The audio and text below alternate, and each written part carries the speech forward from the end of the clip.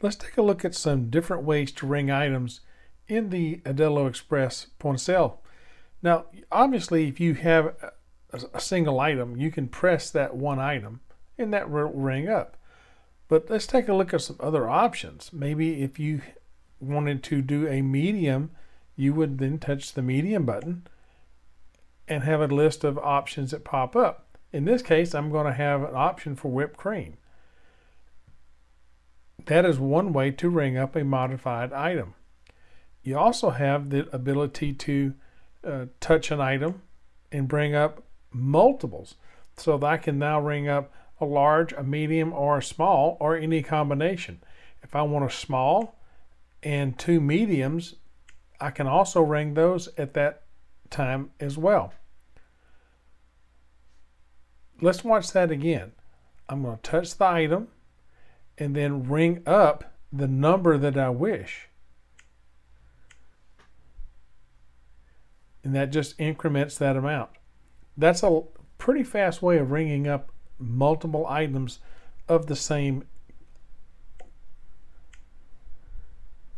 You can also ring up one. A lot of options on that. Let's take a look at some combinations. So I'm going to go down to my burger. In this case, I want to ring up a burger. It's going to be a combo. So I'm going to touch the burger combo. I'm going to force the temperature of that burger patty. Now it pops up my modifiers. The ones that are checked are what come with the burger. If I don't want mayo, I simply touch it and that removes it from the order going to the kitchen that then leaves ketchup, mustard, and onions still on the burger.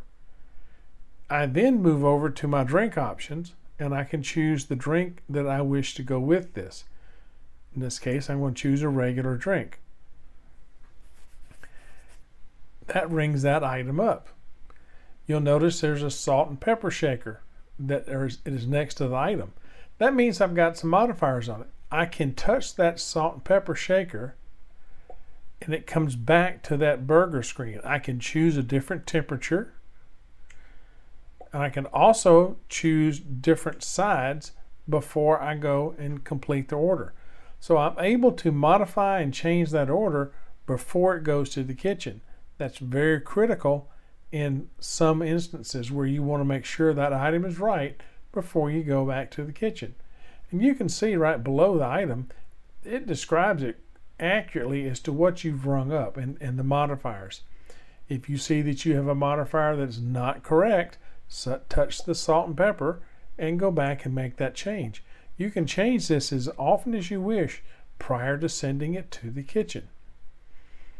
Another good option is uh, on how to ring up. I'm going to choose a three-piece chicken combo. In this case, I can simply bypass this screen and and that would be the normal three-piece combo, whatever that normal is in your restaurant. But if I want to do three-piece and choose the pieces, I can just simply do that as well. So now I've got a three-piece combo normal, and then I got a three-piece combo the way that the customer said they wanted it, a thigh, wing, and a breast. These are some of the options with regard to how to ring up an item or items in the Aldelo Express. Watch our other videos to learn how to do even more with this very powerful point of sale product.